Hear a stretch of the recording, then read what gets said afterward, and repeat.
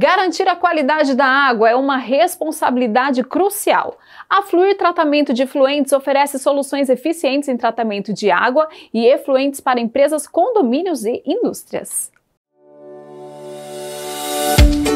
46% da população mundial sofre com a falta de água potável e sem acesso a saneamento básico. No Brasil, os números também são alarmantes. 100 milhões de pessoas não têm rede de esgoto e falta água potável para 35 milhões. Para tentar melhorar esse quadro, três amigos que trabalham há mais de 10 anos com saneamento, mas em diferentes setores, resolveram se juntar para fundar a Fluir, empresa que traz soluções eficientes em tratamento de água e efluentes. É profunda a diferença que separa as cidades brasileiras em relação ao saneamento básico.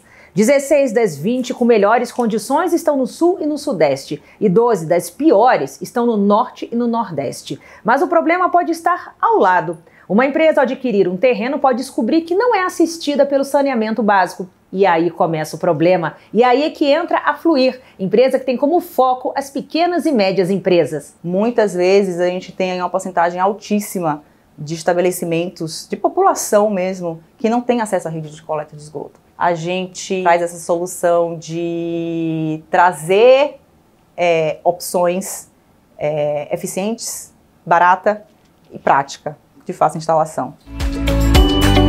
Bruno explica como funciona a fabricação de tanques. A gente trabalha basicamente com um processo de enrolamento filamentar, que hoje é a melhor tecnologia para a fabricação desse tipo de equipamento.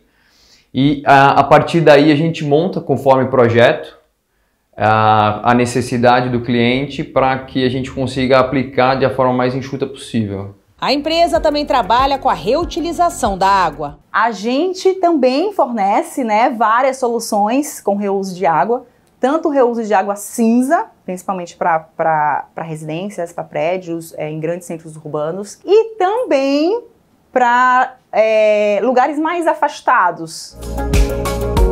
Para um futuro bem próximo, a empresa vai montar uma estação inovadora de tratamento para tratar gordura e já almeja que as águas tratadas transbordem as fronteiras brasileiras. A gente já atende nível nacional, mas a gente quer atender é, nível América do Sul, outros países. Então a gente quer abrir unidades específicas para a gente conseguir aumentar essa demanda.